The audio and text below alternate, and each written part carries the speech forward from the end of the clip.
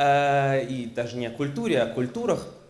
И сегодня у нас э, будет очень краткий прогон по теме, по двум темам, в общем-то. Первая тема — это влияние восточной культуры на Запад с какими-то вкраплениями, в принципе, интересных фактов о искусстве Востока, о культуре Востока. И второй блок — это будет то, э, что называется, как мы об этом можем узнать в нашем городе. То есть о востоковедении, как бы громко это ни звучало, в реалиях современной Республики Беларусь. Э, начну я с самой любимой моей картинки. Мне кажется, что вот когда я дальше буду когда-нибудь бить татухи и придет время к сердцу, то там окажется эта хищная птица – эта хищная птица прекрасна, она прекрасна по пластическим своим свойствам, она великолепно сделана технически, но больше всего в ней меня впечатляет две вещи. Первое, что она абсолютно художественна с точки зрения нашего современного глаза и сердца. Она могла бы находиться на какой-нибудь выставке, знаете, достижения Академии искусств э, Республики Беларусь э, там, за последний год. Вот вылепил человек, школа скульптуры у нас довольно сильная, вот он это сделал с такими этническими мотивами и так далее, и все скажут, вау, это довольно оригинально, это неплохо. Главная проблема состоит в том, что эта птица относится к неолитической культуре Яншао, которая в Китае существовала с третьей по середину первого тысячелетия до нашей эры. И вот она сделана примерно 4000 лет назад. То есть достаточно давно. И в этих условиях э, необходимо говорить в первую очередь о том, что на протяжении тысячелетий, про пять тысяч лет культуры они врут, не совсем, сложно, это миф насчет э, Великого Китая. Но на протяжении тысячелетий существует культурная традиция, влияющая на сопредельные страны, влияющая через них или напрямую на западный наш мир условно, и, в общем, продолжающая это делать. Если вы залезете себе в карман, вы там найдете еще одно достижение китайской культуры, да, сделанное на этой земле и привезенное сюда в красивой коробочке с надписью там, iPhone, Samsung и так далее. Э, вы можете мне возразить сейчас, благодаря увеличению уровня жизни в Китае, повышению среднего, в принципе, уровня индекса потребления, э, рабочая сила подорожала, и некоторые фирмы выносят свое производство в Северную Корею, но это тоже, в общем-то, не Гомельская область, да? Там все еще только бортництво, а мы, э, скажем, будем продолжать пользоваться восточными достижениями уже технологическими, индустриальными. Э, но сегодня не про это. Сегодня все-таки про то, что у нас ограниченное количество времени, у меня вот здесь тикает таймер, в конце, если я не уложусь, что-то, наверное, взорвется под сценой, э, и это будет самая яркая часть, наверное, моего выступления. А, если мы говорим про заимствование с Востока, то необходимо начать именно с этого, с времени. Э, и необходимо вспомнить такую интересную вещь, что все мы живем по определенным ритмам, и эти ритмы, например, ограничены отрезками времени, кратными 60 единицам. Называется час. Да? Делится на 60 минут. Так вот, самое удивительное, что придумали это на Востоке. Конкретно в Месопотамии, в Междуречье достаточно давно, примерно когда вот эта птица была сделана более-менее. Соответственно, и мы сейчас ежедневно соотносим ритм своей жизни, свои события, наше успевание или неуспевание все время с помощью механизма, придуманного не в нашей культуре, а заимствованного. Дальше можно рассказывать про изобретение нуля и говорить про буддизм, про цифры арабские, они же индийские, про бла-бла-бла-бла-бла, но можно остановиться лишь на том, что есть такая фраза на латыни «ex oriente lux» или «свет с востока». А, и вот, в общем-то, про наиболее близкий к нам обозримый отрезок времени э, я и собираюсь с вами говорить. А, хм. Восток всегда воспринимался, ну, он неизвестен был всегда, Э, в каком-то таком э, значительном масштабе и всегда воспринимался как некая сказка. Прекрасный пример этому – это Марко Поло. Знаем мы все этого чувака, который съездил в Китай, потом приехал обратно, написал книжку, все очень обрадовались, книжка пережила много переизданий, и потом про нее сняли хороший сериал, э, кажется, HBO, да? Соответственно, Марко Поло описал Восток как волшебный, чудесный, невероятный, сказочный мир, где каждый крестьянин-философ, где социальная структура идеальна, где сотворяются вещи, которым нет равных э, в мире западном. Э, все ему поверили, э, и за компанию поверили, что где-то в западном Китае живут люди с песями головами. То есть в общем и целом уровень факт-чека какого-то был не очень глубокий, не очень э, значительный. И э, вот как раз-таки люди с песями головами нас интересуют, потому что э, это значило, что восточный мир настолько удивителен, прекрасен и сказочен, что там может быть все, что угодно. И несмотря, что у нас здесь в Бургундии только черная оспа, да, а людей с песями головами нету, но мы вполне можем поверить, что там где-то они есть. Э, и вот фактически до XVIII века э, Восток и существовал в контексте абсолютной сказки и волшебства. Э, но из этой сказки можно было извлекать деньги – и поэтому, когда начинается активная эпоха колониальных всяких э, открытий, захватов, присоединений и формирования империй европейских, э, то начинается и активная торговля со странами Востока. Э, в частности, в 1600 году э, британская королева э, дает патент Ост, Ост-Индийской компании на монополию в торговле с Индией и странами Дальнего Востока. В спину им дышат голландцы. В 1602 году, чуть-чуть позже, они открывают свою Ост-Индийскую компанию с Блэкджеком.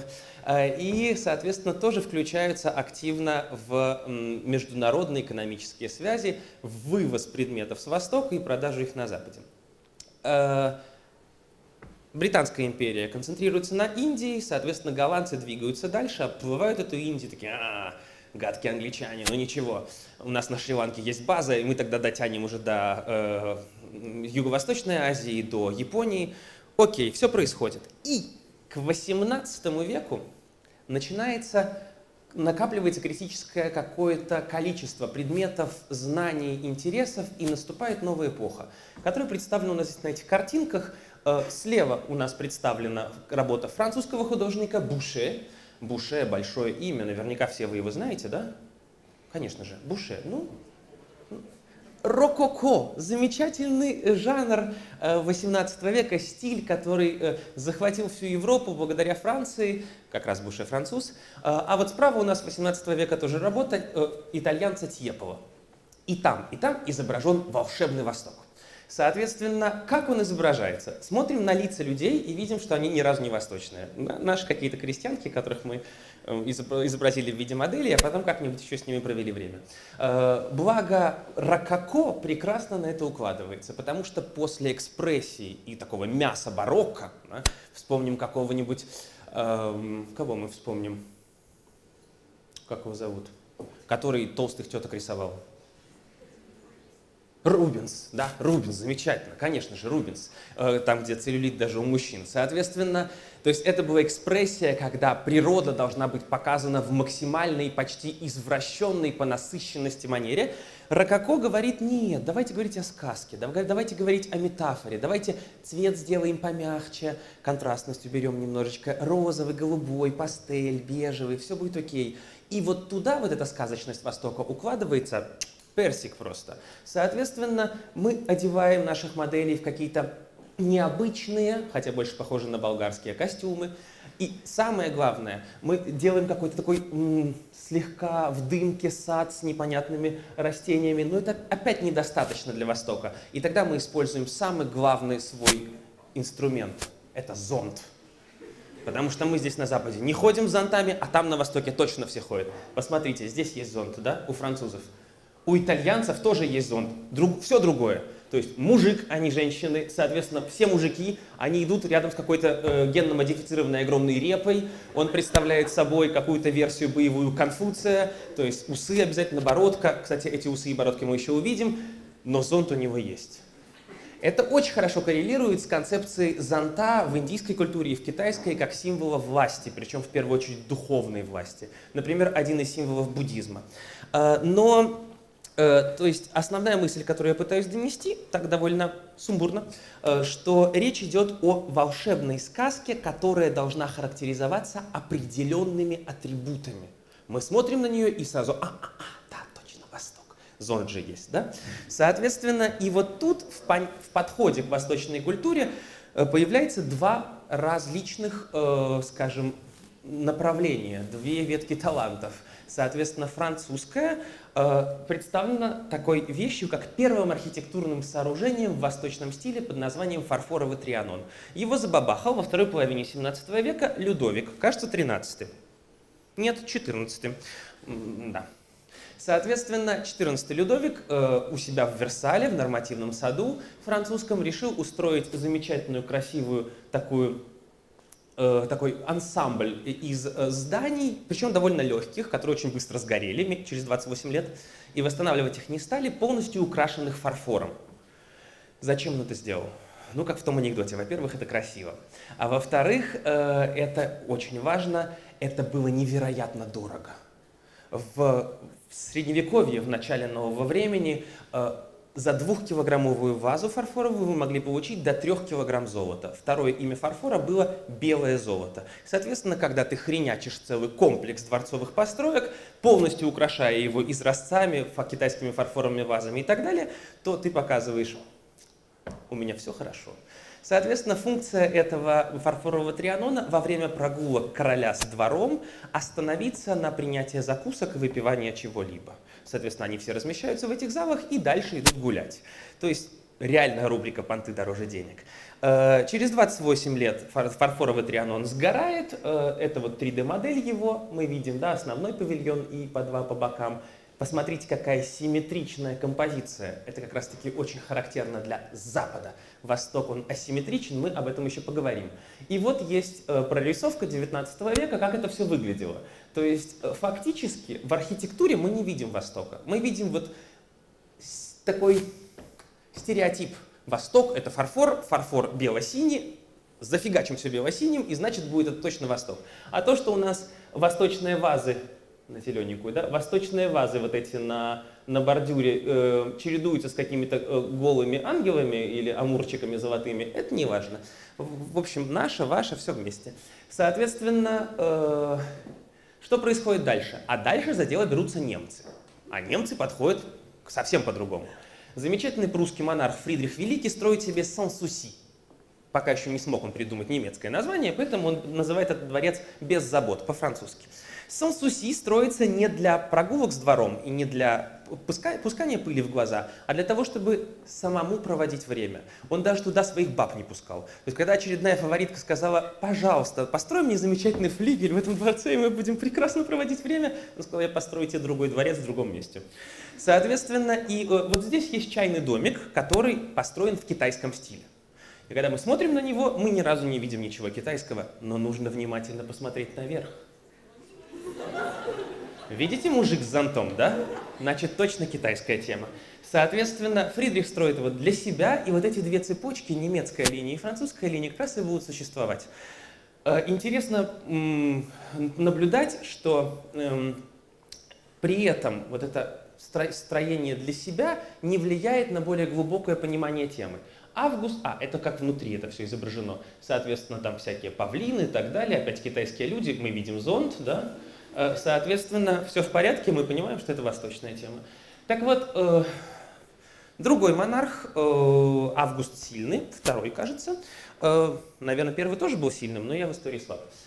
Соответственно, строит себе японский дворец. Ну и мы сразу понимаем, что японский. То есть очень видно японская тема со всех сторон. Соответственно, похоже это, конечно, на венскую архитектуру совершенно, но мы видим, что здесь есть обязательный атрибут восточного здания, а именно изогнутые крыши. Они так себе изогнуты, но тем не менее. Почему крыши изогнуты на Востоке? Разумеется, потому что злые духи ходят только по прямой. И когда они будут пикировать к вам во двор, они на крышу так оп, и там фронтон изогнут, они и улетели. И не попадают к вам во двор. Соответственно, европейцам это не вдомек, поэтому крыши изгибают слабо, и видно, злые духи туда и приходят, и, соответственно, кто их дом, от них нужна защита какая-то. И, соответственно, не видно человека с зонтом, потому что картинка с малым приближением. Меняемся и видим его. Он без зонта, от него осталась только голова, но всегда есть усы, всегда есть бороденка такая, и нам сразу вспоминается Тарантино с фильмом «Убить Билла». Да? То есть, э, как его там звали, этого мастера? Китай, китайца, который почему-то с японским мечом бегал. Ну, то есть, в общем и целом, ничего не меняется. Понимание Востока в массовом, как бы, таком преломлении все такое же очень поверхностное. Но, тем не менее, китайцы есть, и это опять нам показывает, что обозначение Востока происходит через какие-то массовые стереотипные элементы. Э, многие императоры, и, соответственно, императорские особы э, Российской империи были э, так или иначе корнями связаны с европейскими дворами. Некоторые так были вообще немцами, например, Екатерина II.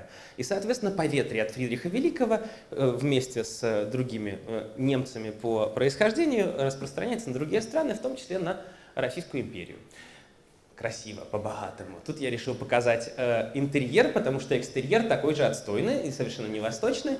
Э, вот. А вот тут конкретно уже хорошо. Вместо м, утонченной ракокошной Франции, где все-таки пастели, бла-бла-бла, вместо пуританской и в основном как раз-таки протестантской Германии э, на русскую культуру Восток ложится прекрасно. В конце концов, э, сами-то откуда? Соответственно, мы видим один из интерьеров, китайский кабинет в царском... В царском селе, наверное, или в Петергофе, я забыл. Но, в общем, нам интересно другой момент. То, что мы видим невероятное богатство и цвета, и насыщенной формы, и настоящие восточные предметы. Это лаковые ширмы, которые британский архитектор Кэмерон, который все это проектировал, действительно использует как часть интерьера. Огромное количество предметов фарфора, лаковая мебель, но при этом, посмотрите, интересный момент.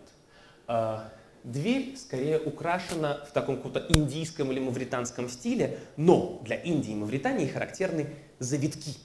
А для Китая характерны прямые линии в э, узорах, в орнаментах. Поэтому что мы делаем? У нас же китайский э, кабинет, поэтому мы берем индийский орнамент и хренячим его из прямых линий. И как бы вот получается типа по-китайски. То есть опять стилизация, опять довольно специфическая, но это как бы первый шаг к переосмыслению, не просто использование каких-то внешних элементов, а к осмыслению. И чтобы доказать, что здесь идет речь не о внешней французской модели, а немецкой, я вам хочу показать вот это. Это личные покои императрицы Екатерины Великой. Почему они личные? Э, да хотя бы потому, что здесь висит портрет ее маленькой голой девочкой. То есть явно не совсем публичное место. И эта э, спальня императрицы оформлена китайскими замечательными ширмами, тканами, точнее тканами-шпалерами с китайским пейзажем. Соответственно, это то, что монархи используют для себя. Их это прет, и это очень приятно моему лично сердцу. Соответственно, э, при этом внешняя архитектура восточная в Российской империи все равно выглядела как непонятная смесь неоготики с, э, не знаю, фантазией британских архитекторов – Соответственно, это у нас китайский театр. Тоже мы понимаем, что он китайский, потому что крыши загнуты. Да? Э, вот. И движемся дальше. Э, а дальше нас ждет интересный момент. По мере прохождения XIX века эм, происходят опиумные войны с Китаем, происходит всякая разная печалька э, с Китаем, и Китай как бы отходит немножко на второй план под очень конкретным явлением, а именно под открытием Японии. Потому что Япония, как мы помним, разумеется, вся из школьного курса, в 17 веке, после длинного периода э, под названием «воюющие провинции», э, внезапно закрывается на 200 лет. Ну, то есть до этого там есть христианские миссионеры, картографы, голландцы открывают факторию, все хорошо, все ездят то в Корею, то в Китай учиться, торговать, потом приходит к власти Сюгунат Такугава, и Такугава говорит «расстрелять». Всех закрывают, страна полностью закрывается бамбуковым занавесом, э, так это называется в истории. И э, один корабль голландцев раз в полгода может зайти в один порт. Все, кто выехали из Японии в момент принятия политического решения, не имеют права вернуться обратно. Все христиане должны либо от, а, их 100 тысяч в этот момент уже в Японии, именно японцев, отказаться от своей веры или будут убиты. Э, у кого будут найдены иностранные книги, будут у книги сожжены, и те, у кого они найдены, тоже. Соответственно, Япония закрывается на 200 лет, и все, что она накопила за это время, переосмысляет. Японская культура изначально фактически дочерняя культура Китая.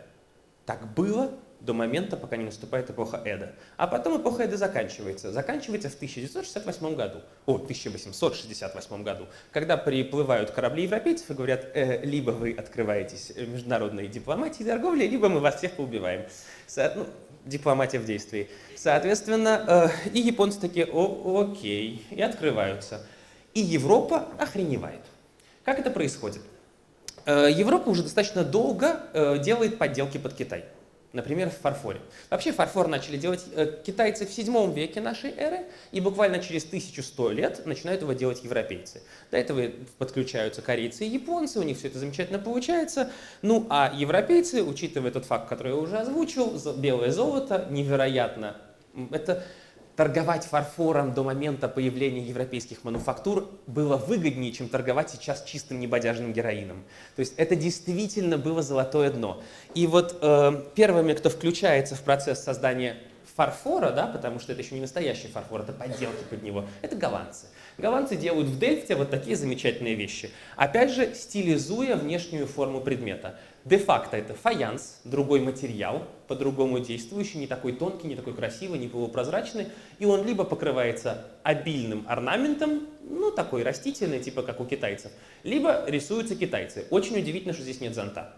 Но зато здесь есть всякие волшебные цветочки и какие-то горы и типа элементы такой в несколько уровней китайского пейзажа. И вот две каких-то непонятных хрени.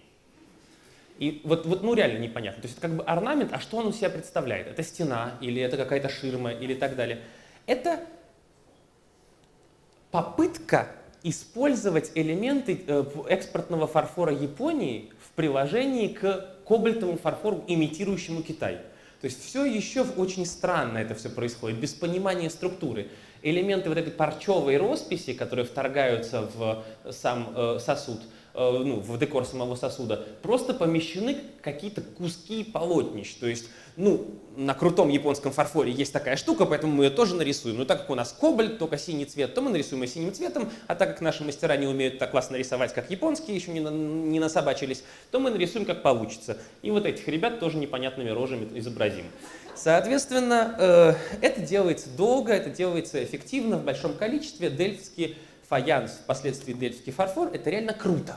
Но мы говорим сейчас о начальном этапе. И вот этот начальный этап чрезвычайно интересен, потому что в конце 17-го, начале 18 века немцы, те, которые смотрели вглубь, да, э, впервые в Европе начинают делать настоящий фарфор. И вот все, что вы можете увидеть в Дрездене, ну, что не развалили союзники вот эти бомбардировки в 45-м, или что было восстановлено, всю эту пинокотеку с шедеврами, с Рафаэлем, с э, там, тем же Рубинсом, там галерея целая, и прочим-прочим, и со всеми дворцами, и со всеми храмами, все это практически было собрано и сделано за 30 лет, что у Саксонии была монополия на торговлю фарфором. Они начали первое, его не нужно вести через полмира. Помним, Суэцкого канала нет, да? То есть мы оплыли Индию, точнее, в другую сторону, оплыли всю Африку, оплыли Индию, проплыли мимо там пиратов всяких океанических, и если доплыли до Японии, то нам очень повезло, мы можем это все купить и поплыть обратно и утонуть в процессе. Соответственно, э, то есть это реально было сложно, а когда появляется местное производство, появляется весь чудесный Дрезден. И вот если вы хотите понять про фарфор, как некое сердце, в принципе, Востока в декоративно-прикладном искусстве, э, то вы можете сравнить, да, что делают э, японцы для, для Запада, ярко, красиво, да, по-богатому, что делают европейцы под Восток и что делают э, японцы для себя. Это 17 век. То есть вот это красиво. Причем вот этот предмет сделан в той же самой мастерской в центре Имари, что и вот этот. То есть совершенно иная эстетика. И мы про эстетику еще поговорим. А вот э, в Дрездене, будете в Дрездене, это не, не сложно, недалеко, не идите в пинокотеку. Ладно Рубинс, ладно, это все херня. А вот порцеляновая галерея, вы как идете в дворец Цвингер, вы направо не поворачиваете в, в пинокотеку, идете налево и заходите в офигенное место несколько залов восточного фарфора, которые потом плавно перетекают в западный. И вы видите, как из одного рождается другое, десятилетие за десятилетием. Вы видите, как рождается и переосмысляется, и появляется собственная традиция. Это вправляет мозги сильнее, чем 10 походов в Эрмитаж. Очень круто. Ну, вы понимаете, я маньяк в этом плане. Соответственно, просто посмотрите, это красиво. Вон какие вещи замечательные, многочисленные. Каждый себе найдет хорошее. Кто любит беленькое с золотом, вот, пожалуйста. Кто любит беленькое синеньким, вот, пожалуйста. Кто любит восточных богов, вот, пожалуйста, вам Бодхисаттва милосердия канон. Мы о ней еще поговорим. А пока мы движемся вперед. И, в общем, когда Япония открылась, все охренели. Охренели и очень полюбили ее. И наступил такой период, который называется эм, по-русски в европейских языках жапонизм. Ну, japonisme, понятное дело, с французского. Japon, vous pouvez voir ici, le Japon artistique, художественная Япония, и, соответственно, le japonisme, то есть японщина. До этого в 18 веке было шинуазри, то есть китайщина, а теперь японщина. И шинуазри — это псевдокитайщина, а вот японизм — это настоящая трушная японщина. При этом вы знаете, что конец 19 начало 20 века — это конкретный стиль стиль модерн. Да? О, да, мы все это очень любим, да. Красивые вазы, замечательные узоры, бабочки всякие, бронзовое литье, тра-та-та-та-та-та. Так вот, название европейское модерна по-французски это Art Nouveau, новое искусство.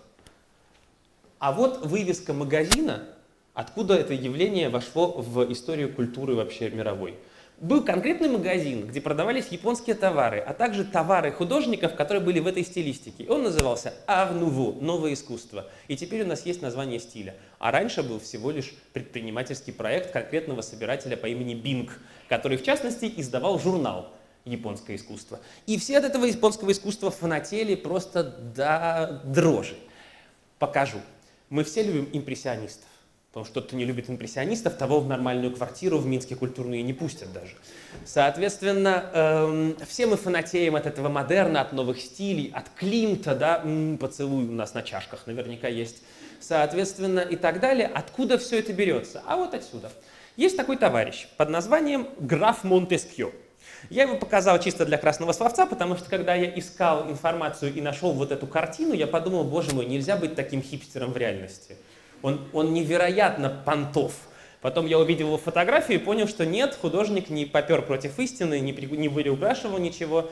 Э, вот, э, пожалуйста, все есть. Граф Чапек был не только у нас, но и во Франции такой был. В отличие от нашего, который пиво варил, Чапский в смысле, э, этот собирал японщину, устроил себе особняк с японщиной, Э, украсил все это садом с, с японскими растениями, выписал садовника из Японии, устраивал японские чаепития, собирал японское искусство, выращивал японские лилии и отправлял их другому чуваку по имени Гале.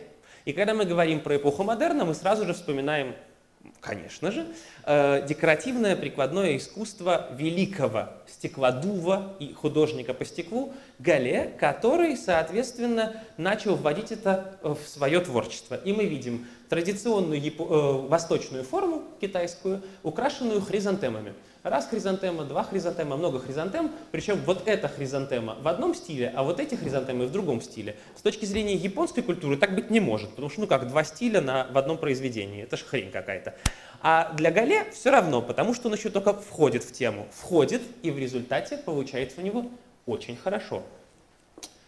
Что я имею в виду?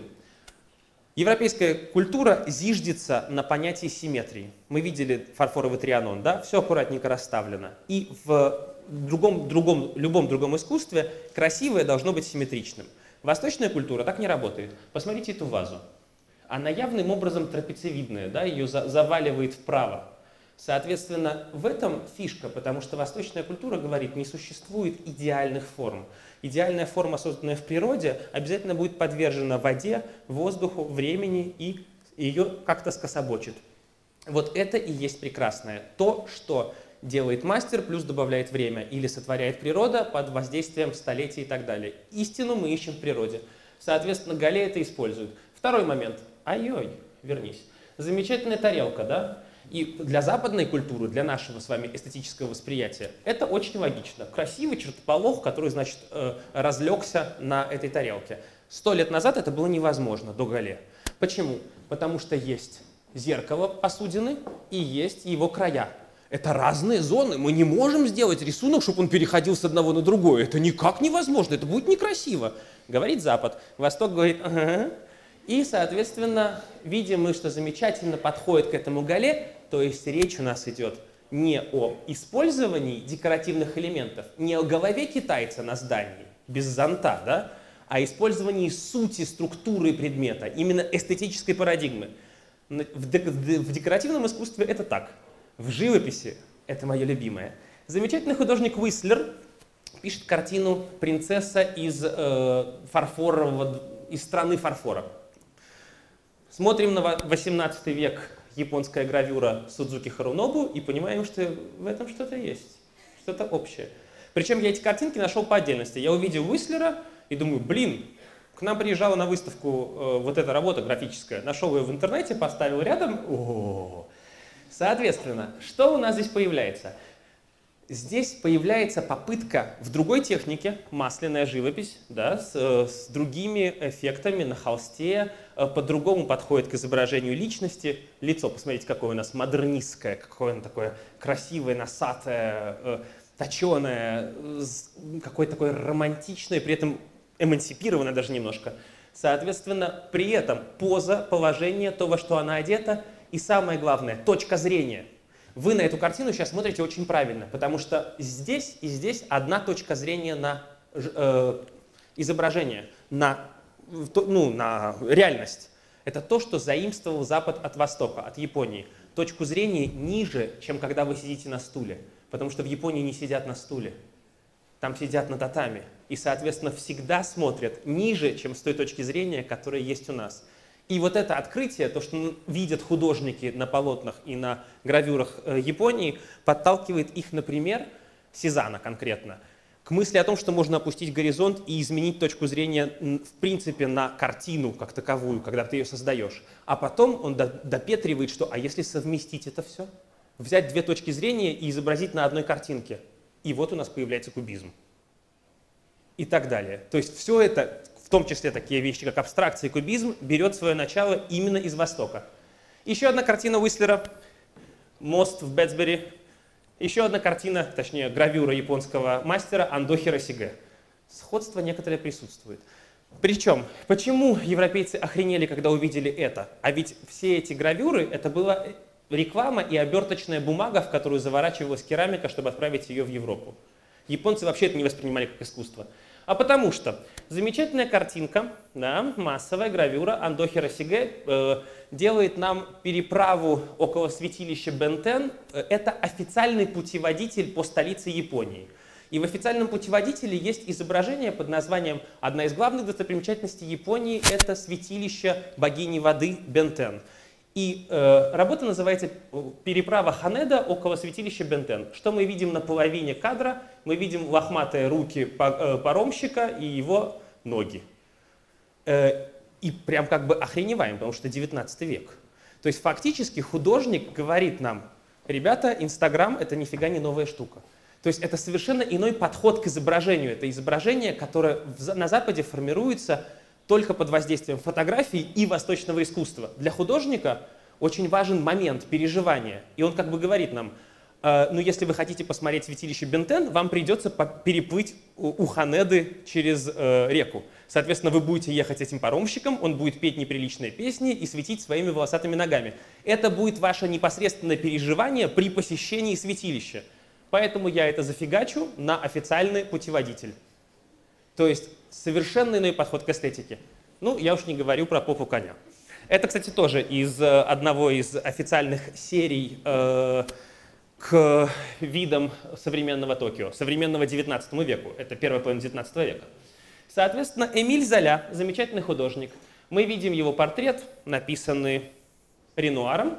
И, соответственно, и мы видим сверху здесь интересный момент. Мы видим здесь как, ну, какую-то голую бабу, сейчас мы ее увидим покрупнее, и какого-то японца увеличиваем и видим э, замечательную гравюру у Тамара и видим Олимпию Эдуара Мане. Эдуард Мане пишет свою Олимпию, и, соответственно, на этом полотне, а, кстати, это не Ренуар, это действительно, это Мане. Это Мане, который, это его картина. Поэтому он и помещает здесь сюда э, эту свою вещь. И мы видим присутствие японской ширмы здесь, мы видим японскую картинку здесь. То есть вся богема, не только художественная, но и литературная, была впечатлена невероятно. Например, Моне, да, уже не через А, через О. Мост, который растиражирован уже где только нельзя. Дофига этого всего. Вот этот мост. Это один из видов э, Эда, и перед нами изображение э, кисти работы Кацусика Хакусая. Ну, помните, Хакусай, волна, там все дела вот этого, да, на майках печатают. Соответственно, там было много работ в серии, и вот одна из них вот эта. Э, Мане в 1881 году предлагает построить такой мост у себя дома, делает это и потом пишет его полжизни. Много-много версий этих кувшинок есть, и это невероятно прекрасно. Откуда? А вот отсюда. Сам в Японии никогда не был. Продолжаем. Э, Гоген, замечательный Гоген, черные линии выразительные и так далее, яркие цвета, такие поля чистого цвета. И вот мы смотрим на эту картинку и думаем, блин, это как будто кусок, кадрировано, да? Нет, на самом деле это целый холст, никакого кадрирования. Гоген так это пишет. И заимствует он это откуда? Из этого самого Андохи Росиге с ногами лохматыми, правильно? Соответственно, и все эти женщины непонятные, которые, как оказалось бы, мешают нашему обзору на картину. Здесь вообще святой изображен, который с ангелом сражается. Какие женщины, какие головы, причем еще спиной? А все очень просто. Если бы вы были э, наблюдателем этих событий, если бы были участником, однозначно там были бы эти женщины, они мешали бы вам смотреть, потому что они гораздо более любопытные, чем вы. То есть они неотъемлемая часть вашего переживания, наблюдения этой битвы. И это сосна замечательная, которая рвет нашу композицию на две части, чисто японские дела. А вот эти фигуры, да, святой Иаков и ангел, ну как бы не сильно восточная, их положение – это прямая цитата из работы у другой у Тамара. То есть это полностью взято из борцов сумо, которые мочили друг друга на одном из известных листов э, японской гравюры. Теперь вопрос. Одна из этих работ японская, вторая сделана Ван Гогом. Какая где? Слева японская, справа Ван Гог. Да, Ван Гогу показалось, что недостаточно японщины, нужно еще иероглифов нафигачить. Иероглифы попал, большая часть неправильные или непонятно какие, соответственно, но при этом мы видим, что Ван Гог, у которого, если деньги появлялись, то общество он их обычно спускал на японское искусство. Вот, пожалуйста, вам еще один пример. Опять Андо Хиросиге и Ван Гог, который он делает, э, как бы повторяет сцену, но в масле. Очень активно с этим работает. Э, и практически все. На самом деле я все уже все полимеры, время вышло. Э, справа и карпы. Почему карпы? Ну, они здесь на фарфоре, да, чисто восточный мотив, тем более все мы их любим, потому что если мы решили забиваться, то у нас два варианта, либо надпись на латыни, либо карпы, да. Нет, есть еще третий, э, ласточки. Соответственно, э, откуда это пришло? А вот с востока. И второй момент слева, гораздо более интересный. Э, это канон, видите, канон сверху написано, внизу написано сигареты, да, реклама французских сигарет с изображением японской богини милосердия. Э, но э, этот нейминг использовали не только для французских сигарет. Наверняка все вы знаете такие фотоаппараты, да, Canon называется. Так вот, до 60, кажется, восьмого года их логотип был восьмирукая богиня э, через букву К с двумя N. Э, то есть, в общем-то, э, Восток присутствует всюду, в том числе в том, с помощью чего вы делаете красивые, очень атмосферные э, снимки своими фотоаппаратами, зеркалками и беззеркалками. Соответственно, даже там Восток даже на уровне идей и каких-то символов. Наверное, все. Я не имею права еще три минуты потрындеть про то, что в Беларуси ни хрена про это не знают. Да? А хорошо, замечательно. В общем, в XIX веке э, Востоком считалась даже Африка. Потом оставили только Азию, она огромная, э, постепенно развивались науки. Русскоязычная школа востоковедения был, была лучшей в мире. Потом в 1937-м э, почти всех востоковедов постреляли. В 40-х э, за попытки занятия востоковедением и изучения всего этого садили в дурку или в тюрьмы. Потом просто увольняли, к 60-м годам перестали это делать. Ну, в общем, и все начало возрождаться потихонечку. Что было у нас в Беларуси? Ну, в 19 веке были восточные предметы, допустим, в музее Тышкевичей. А, в начале 20 века на фотографиях из замка в Несвеже, до военных, а, можно увидеть огромные вазы, и судя по тому, какие они, возможно, это эпоха Мин, ваза эпохи Мин, да? Какой-то век, неважно.